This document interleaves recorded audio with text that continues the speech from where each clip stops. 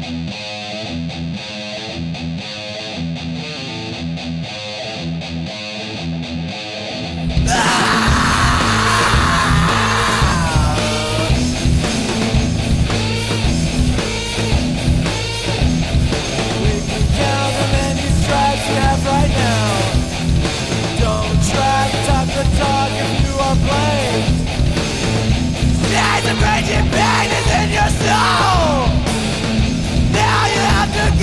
take the blood!